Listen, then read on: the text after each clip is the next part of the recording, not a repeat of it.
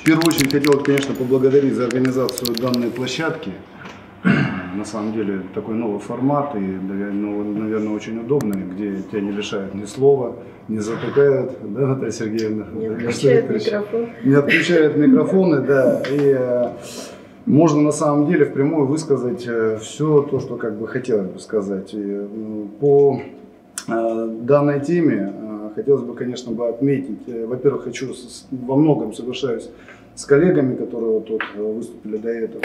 А, также для меня, как и для всех, наверное, жителей республики, непонятны действия властей, наверное, с самого начала э, пандемии.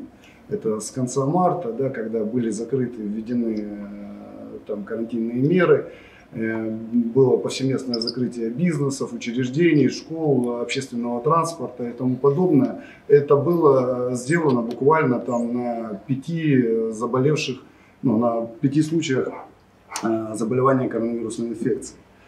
А, далее, соответственно, все сидели на жесткой самоизоляции, в принципе, вот тут порядка, наверное, там двух месяцев, да, но тем не менее а, какого-то жесткого контроля а, в части этого властями не, не осуществлялись. Да, там были выпущены указы, которые, в принципе, не соблюдали, э, ну, уже где-то, наверное, месяца через полтора многие предпринимателей. Вот тут даже Санал вел эфир, где там а, на Богатуре в открытую велось спортивное мероприятие, есть видеофиксация, это не вымысел какой-то, это на самом деле. То бишь даже родственники э, руководителей республики не соблюдали э, тех указов, которые были выпущены.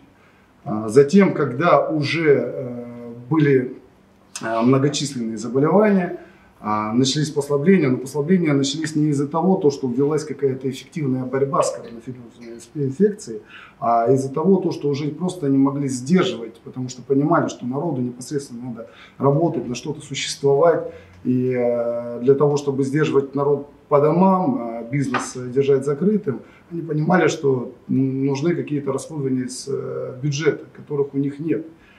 А, но они потеряли за этот период столько времени, когда могли бы действительно консолидировать как-то, ну, там, не знаю, какие-то резервы да, бюджетные, действительно просмотреть э, эффективные меры там, других стран, других регионов. Да, вот я отмечаю самый, наверное, один из эффективных э, способов, который вот показала, это Германия. Она везде и повсеместно начала брать тесты вот везде, в открытых пространствах, везде там ставили там какие-то палатки, и везде у людей брали э, тесты на коронавирусную инфекцию.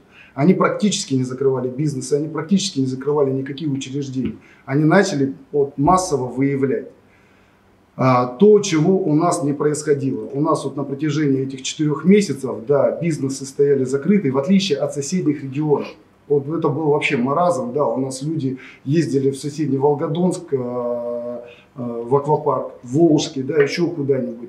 Э, в соседние регионы мы прекрасно знаем, что там были открыты рестораны, все там, ничего особо не закрывалось. В то же время там не было такого коллапса. Также за этот период было упущено время для того, чтобы ну, как-то выбить некие там, не знаю, бюджетные сигнования с федерального, может, центра на строительство каких-то палаточных лагерей, да, чтобы вот, ну, действительно на тот экстренный случай, чтобы был некий резерв.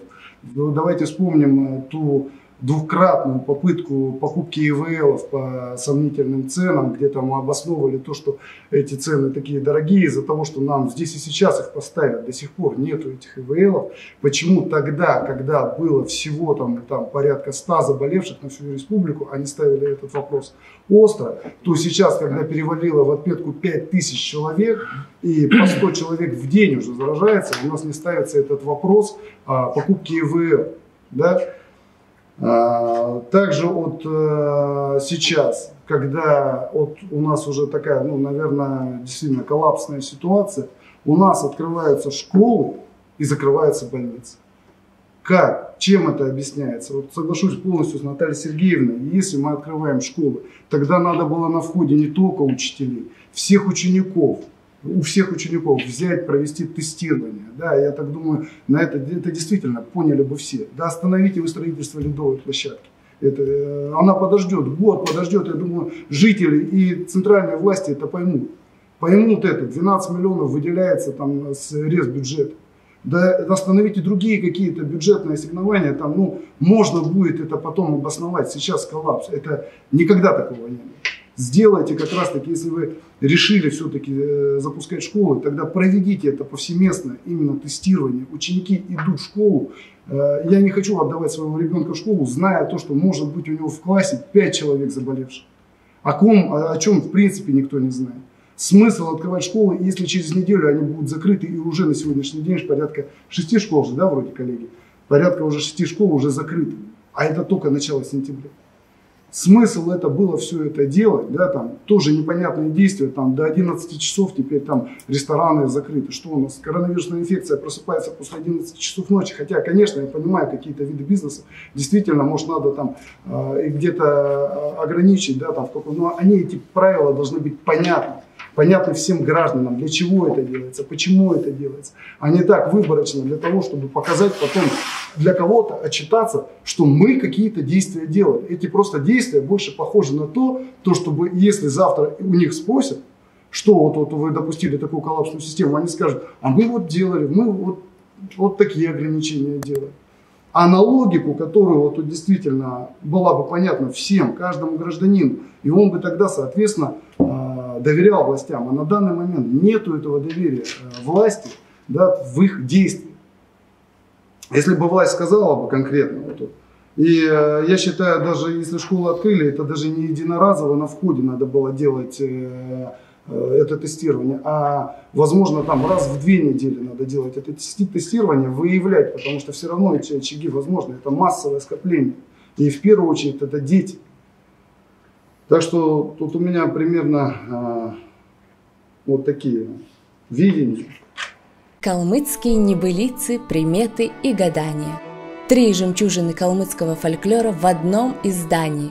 Вышла книга, которая обещает стать библиографической редкостью.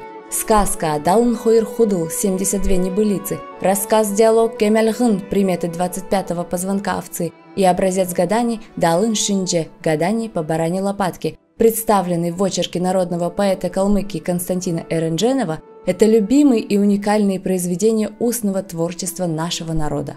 Тексты даны на калмыцком языке и в переводе на русский. Самобытные, яркие иллюстрации Ирины Надбитовой прекрасно передают удивительный калмыцкий традиционный и сказочный мир.